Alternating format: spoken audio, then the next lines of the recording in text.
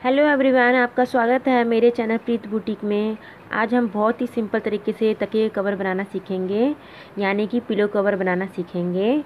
तो चलिए स्टार्ट करते हैं। इससे पहले अगर आपने मेरे चैनल को सब्सक्राइब नहीं किया है तो सब्सक्राइब ज़रूर कर लें और लेटेस्ट वीडियो पाने के लिए बेल आइकन का बटन दबाना ना भूलें इससे हमारा लेटेस्ट वीडियो आपको मिलता रहेगा। ये मैं आपको पेपर बनाना बता रही हूँ। कपड़े पे बड़ा कपड़ा होता है तो पता नहीं चलेगा। इसलिए इस नाप का बनाना है, इस तकिए के नाप का बनाना है। तो ये रेडीमेड है। ये ऐसे रेडीमेड ऐसे लगा होता है। रेडीमेड है, इसकी दूसरी जो जिगजैग सिलाई होती है वो कर रखी है इसमें। पर हम दो सिलाई लगाएँगे, अगर हम अपनी सिलाई मशीन से कर रहे हैं तो। तो ये है तकिए का नाप।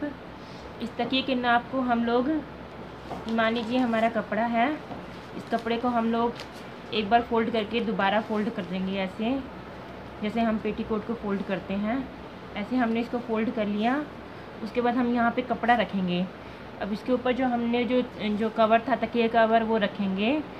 तकिए कवर रखने के बाद हमारी जो ये लंबाई जो हम लेंगे, वो इधर की साइड से जो हमारी लंबाई होगी जो तकिए का लंबाई होता है, यहाँ से तीन इंच रखेंगे और इधर इधर की साइड से बस खाली एक इंच रखेंगे। क्योंकि वो सिलाई में चले जाएगा तो ज़्यादा और दोनों मिला के आपको एक इंच रखना है, आधा आधा इंच रखेंगे हम लोग। और इधर की साइड से तो हम तीन इंच रखेंगे। तीन इंच इधर से रखेंगे जो हमारा तके की लंबाई होगी, उस तरफ़ से तीन इंच रखेंगे और जो चौड़ाई होगी, वहाँ से आधा आधा इंच रखेंगे तो ऐसे रख के और हम इसको कपड़े को काट देंगे ऐसे।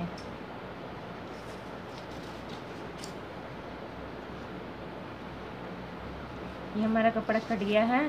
फिर हम इसको भी अलग कर देंगे। आप चाहे तो अलग कर सकते हैं, नहीं तो ऐसे भी छोड़ सकते हैं। तो उसके लिए हम क्या करेंगे, जब हम लोग तकिए की जब हम लोग सिलाई करेंगे तो ये हमारा ये वाला जो साइड है, ये बंद होगा।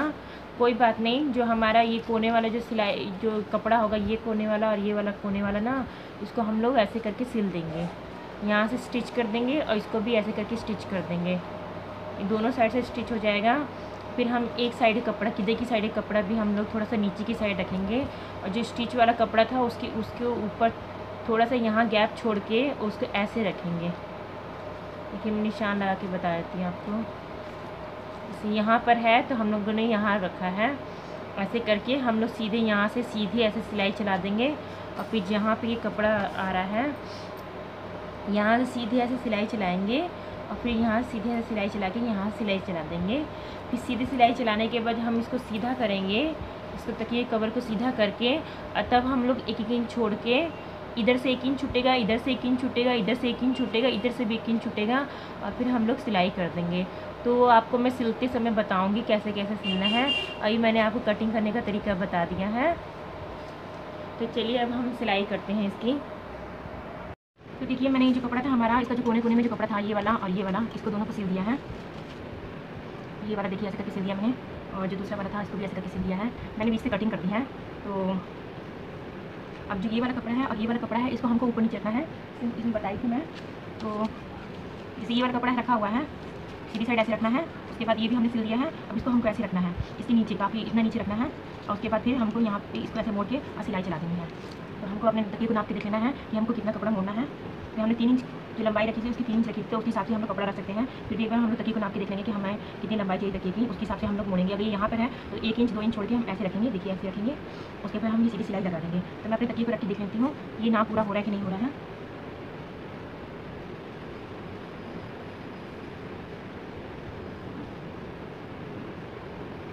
बिल्कुल वहीं से पूरा हो रहा है। इसका मतलब है हमारा ये जो हमने जो मोड़ा है, बिल्कुल ठीक मोड़ा है। अब अपन तकिए कवर को नाप के देख लीजिए और उसके बाद सिलाई। आप चाहें तो इसको भी नीचे ऐसे करके इसको ऊपर से ऐसे लगा सकते हैं, चाहे इसको ऊपर ऐसे करके इसको नीचे से लगा सकते हैं। दो तीन तरह के तकिए कवर बनते हैं तो हम कैसे भी कर सकते हैं। इसमें जैसे मैं वैसे ही कर देती हूँ। इसमें जो ये जो छोटा वाला जो पार्ट है, जो ये वाला जो पार्ट है, जो पीछे तकिए के पीछे की साइड जाता है, कवर के पीछे की साइड, वो ऊपर की साइड है तो इसलिए मैंने इसको ऊपर की साइड ही रख दिया है। तो मैं इसको ऐसे ऊपर की साइड रख के इसको इतना मोड़ लेती हूँ। और फिर मैं यहाँ सीधे स्टिच कर दूँगी। लगे।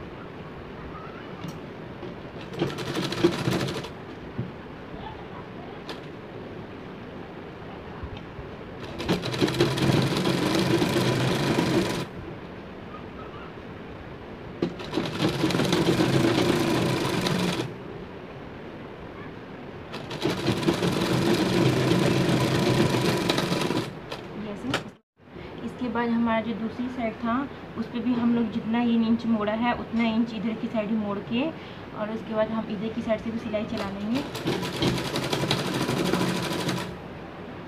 बराबर बराबर रख के सिलाई चला लेंगे।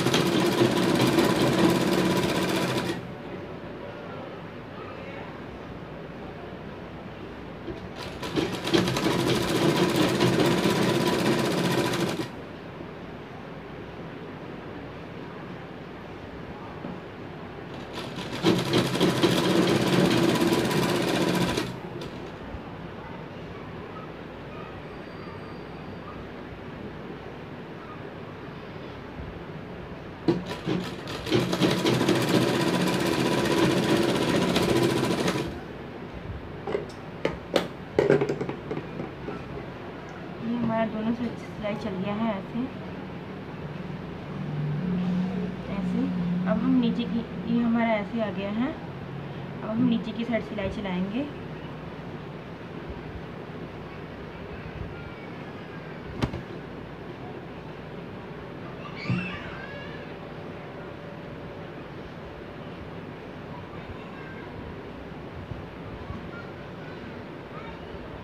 ये हमारा एक्स्ट्रा कपड़ा है, हम इसकी कटिंग कर लेंगे।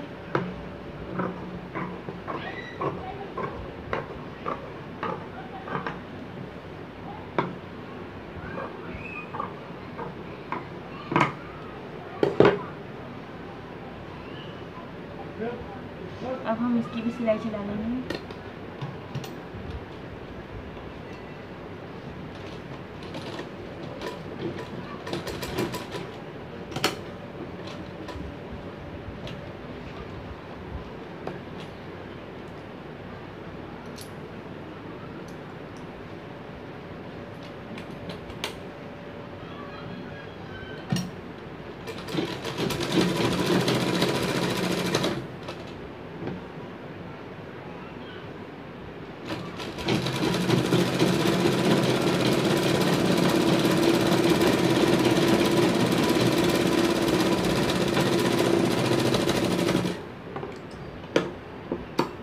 देखिए सिलाई चल गई है अब हम इसको सीधा करेंगे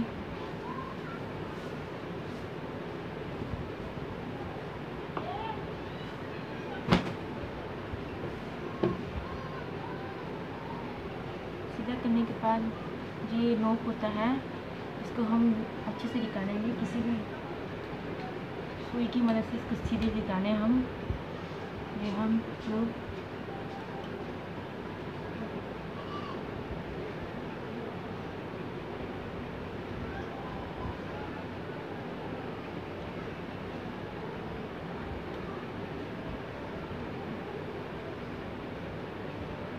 ऐसे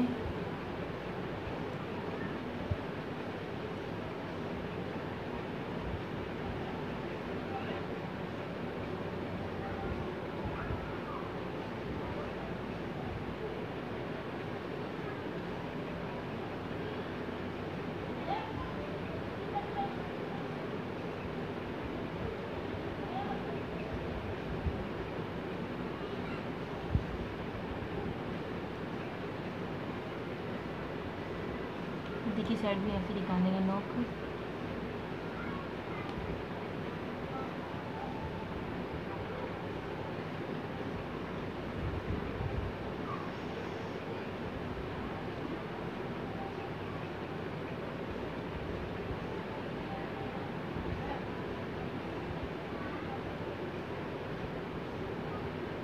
ये ऐसे नोक निकल गया है? अब हम इसको अच्छे से बिछा देंगे। कहीं भी प्लेन जगह पे हम लोग अच्छे से इसका बिछा देंगे ऐसे, इसको बराबर रख के, और हम इसको बहुत अच्छे से बिछा के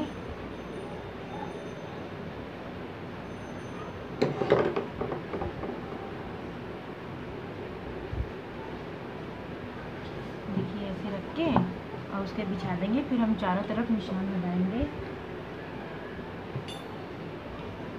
यहाँ से ऐसे एक एक इंच का निशान लगाएँगे एक इंच पे। ऐसे हम चारों साइड में निशान लगाएँगे ऐसे। और उसके बाद फिर इसको अच्छे से ऐसे करने के बाद हम इसको स्टिच कर देंगे चारों तरफ़ से। यहाँ से ऐसे जाएगा, यहाँ सिलाई ऐसे जाके फिर ऐसे मुड़ जाएगी, फिर यहाँ सिलाई आके ऐसे मुड़ जाएगी। फिर हम थोड़ा सा हट के यहाँ से दोबारा एक सिलाई चला देंगे चारों तरफ़। तो ये हो जाएगा हमारा तकिया कवर तैयार।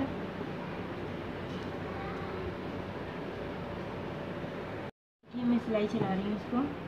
कपड़े को ठीक से करके कोने वाले कपड़े को अच्छे से पकड़ पकड़ के तब सिलाई चलानी है बराबर बराबर में। ऐसे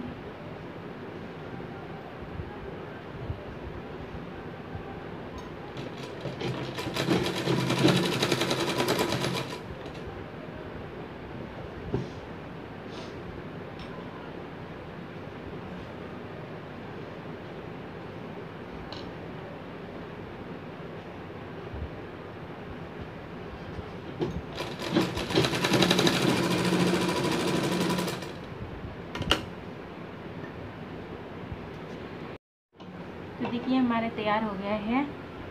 ये तकिए कवर तैयार हो गया है।